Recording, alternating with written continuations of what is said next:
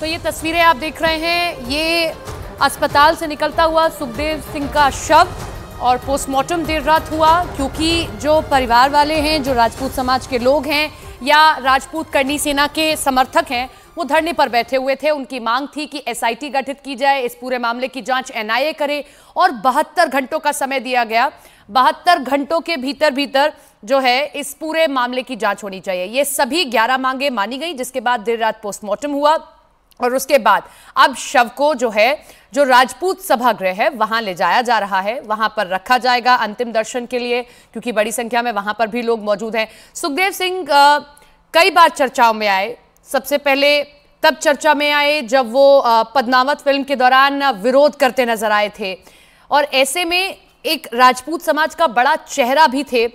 और उन पर जब हत्या, उनकी जब हत्या हुई तो वाकई में प्रदेश दहल गया। देश भर में सवाल खड़े होने लगे कि लॉरेंस बिश्नोई गैंग किस तरीके से अपने आप को सक्रिय कर रहा है। पहले सिद्धू मूसेवाला हत्याकांड, उसके बाद में बॉलीवुड के कई अलग स्टार्स जिनको वो फ़ोन के ज़रिए धमकी देता रहा है, ईमेल के ज़रिए धमकी देता रहा है। और अब राजस्थान में उसने सुखदेव सिंह की हत्या करवा दी। दिन दहाड़े घर के अंदर दो हमलावर दाखिल होते हैं। वो अपने आप को परिचित बताते हैं। नवीन, जो दुकानदार दीपक हमारे साथ, हमारे सहयोगी जुड़ रहे हैं। दीपक, यहाँ से शव निकल चुका है और लोगों ने नारेबाजी भी की।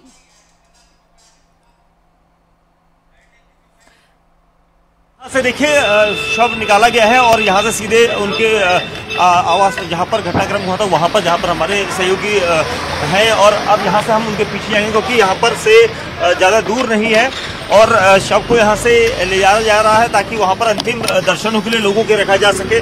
साथ ही ये कहा जा रहा है कि जो लोग होंगे वहाँ से दर्शन करने के बाद कुछ देर वहाँ पर रखने के बाद शव को आगे ले जाया जाएगा जब उनके पैतक आवास जहाँ पर हनुमानगढ़ तो वहाँ तक जाने का जो सफ़र रहेगा वो भी काफ़ी लंबा होगा। ये कहा जा रहा है कि जो लोगों की भीड़ है वहाँ पर अभी उनके निवास पर रुक रही है और उसके बाद वहाँ से वो शव को आगे ले जाया जाएगा। जो अस्पताल में सवाई मानसिंह जो अस्पताल है वहाँ पर पोस्टमार्टम देर रात हुआ था और पोस्टमार्टम के बाद यहाँ पर लोगों की भीड़ जुटी शुरू हो गई थी। प्रशासन के आला अधिकारी यहाँ पर लगातार बने हुए थे और इसी वजह से जो लोग हैं, ज़्यादा ना बढ़े, इससे पहले ही यहाँ सर प्रशासन के आला अधिकारी बराबर नज़र रख रहे हैं और अब यहाँ उनके शव को देख सकते हैं आप।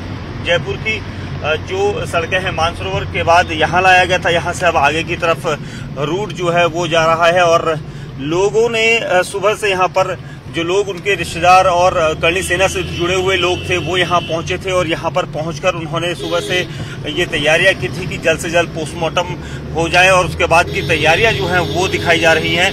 और अब एंबुलेंस को बुलाया गया था, एंबुलेंस में उनके शव को रखा गया था, जिसके बाद लोगों ने फूल मालाएँ चढ़ाई हैं जो पोस्टमार्टम हाउस में उनके करणी सेना से जुड़े और रिश्तेदार आए थे और उसके बाद अब यहाँ से उनके शव को ले जाया जा रहा है। गाड़ियों का काफिला चल रहा है उनके एंबुलेंस के आगे पीछे। साथ ही जो लोग उनसे जुड़े हुए थे, उनकी भीड़ काफ़ी हो सकती है और इसको लेकर, इसको देखते हुए प्रशासन ने जयपुर के कई इलाकों में जो है जगह जगह पर पुलिसकर्मियों को टोकरियों में रखा है ताकि लोग लॉ एंड ऑर्डर के हिसाब से चलें और देख सकते हैं आप, अब कुछ देर में ही उनके उस जगह पर जो उनका शव है उनको ले आकर रखा जाएगा जहाँ पर लोग अंतिम दर्शनों के लिए यहाँ पर जो जयपुर में लोग जुड़े हुए थे, करणी सेना से या फिर उनके रिश्तेदार वो सब लोग यहाँ पहुँचेंगे और उसके बाद ही यहाँ से शव को हनुमानगढ़ की तरफ़ ले जाएगा जाएगा क्योंकि सुखदेव सिंह गोगा मेड़ी जब करणी सेना के राष्ट्रीय अध्यक्ष बने थे तो उसके बाद से ही लगातार ये कहा जाता था कि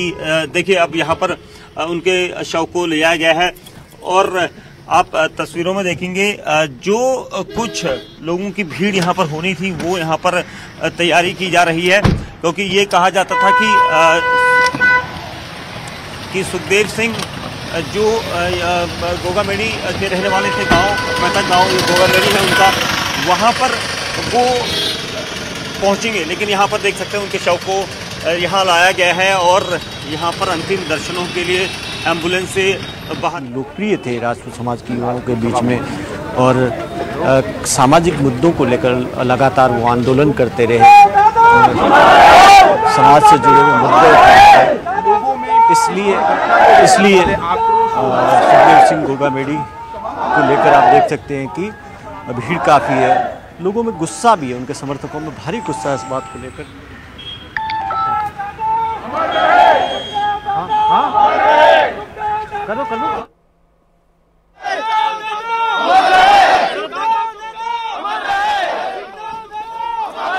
तो तस्वीरें आप देख रहे हैं, जब सुखदेव सिंह गोगामेडी का जो पार्थिव शरीर है, वो पहुँच चुका है, जो राजपूत सभा भवन है, वहाँ पर। और यहाँ अंतिम दर्शन के लिए रखा जाएगा और उसके बाद गोगामेडी। हनुमानगढ़ डिस्ट्रिक्ट का गोगामेडी एक गाँव है जहाँ से सुखदेव सिंह आते हैं। वहाँ उनका अंतिम संस्कार किया जाएगा। भवानी हमारे साथ हमारे सहयोगी बने हुए हैं। भवानी बड़ी संख्या में लोग पहुँचे और नारेबाजी भी कर रहे हैं सुखदेव सिंह गोगा गोगामेडी को लेकर। देखिए, उनके जो समर्थक हैं उनके चाहने वाले बड़ी संख्या में यहाँ पर पहुँचे हैं और इस वक्त जो उनकी पार्थिव शरीर है इस वक्त राजपूत सभा भवन लाया- राजपूत सभा भवन लाया गया। राजपूत समाज की सर्वोच्च संस्था है और यहाँ पर उनके समर्थक बड़ी संख्या में पहुँच गए हैं। क्योंकि सुखदेव सिंह गोगामेडी एक सामाजिक नेता थे समाज से जुड़े मुद्दे उठाते थे और युवाओं में काफ़ी लोकप्रिय थे।